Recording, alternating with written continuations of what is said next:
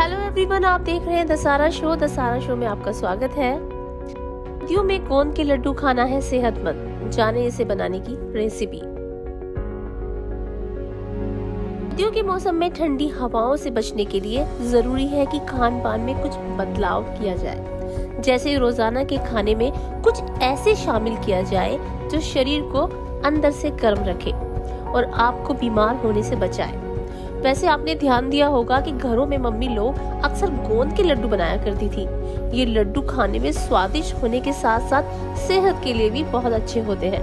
लेकिन अगर आपको इन लड्डुओं को बनाने की रेसिपी नहीं पता तो जान लें। ये रही सबसे आसान सी रेसिपी गोंद के लड्डू बनाने की। तो चलिए सारा के साथ। गोंद के लड्डू बनाने की सामग्री। तीन टेबल स्पून खाने वाले गरम गोंद, साढ़े चार टेबल स्पून घी एक कप गेहूँ का आटा, आधा कप चीनी पाउडर आधा चम्मच इलायची पाउडर डीप फ्राई करने के लिए देसी घी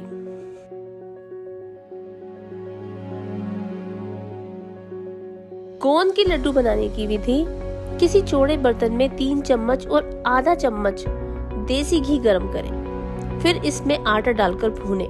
ध्यान रहे कि भूनते समय आँच बिल्कुल भी धीमी हो। जिससे कि आटा जले नहीं।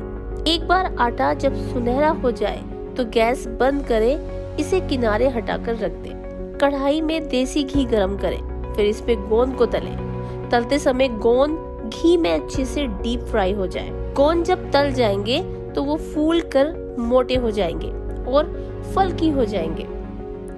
एक बर्तन में पिसी चीनी, तले हुए गोंद, इलायची पाउडर, बचा हुआ घी, भुना हुआ आटा मिला लें। इस सारे मिक्सचर को मिलाकर हाथों में घी लगाकर छोटे छोटे लड्डू के आकार में बाँध लें। रोज़ाना एक लड्डू का सेवन ठंड से तो बचाएगा ही, साथ ही शरीर को अंदर से मज़बूत बनाएगा।